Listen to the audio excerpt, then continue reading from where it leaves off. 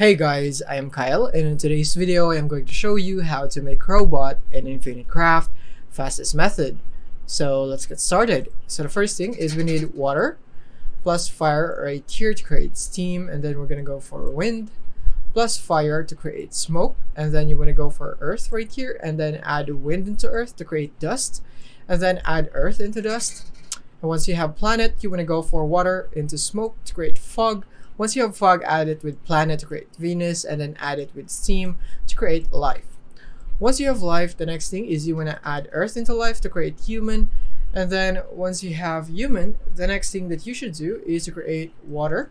and then fire to create steam, and then water again to create cloud, and then fire again to create lightning, and then another fire to create sun, and then another fire to create solar, and then earth, wind to have dust, and then earth again to create planet, and then combine it with solar, you'd have system, and combine it with human, you now have robot.